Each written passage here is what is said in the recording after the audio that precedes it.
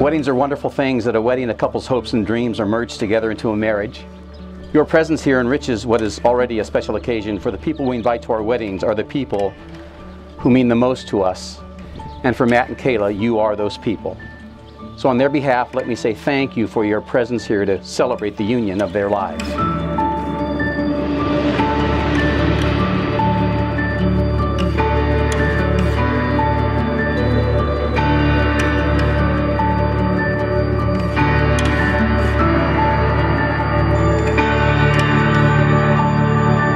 And now, Matt and Kayla declare you to be husband and wife. Matt, please kiss your bride.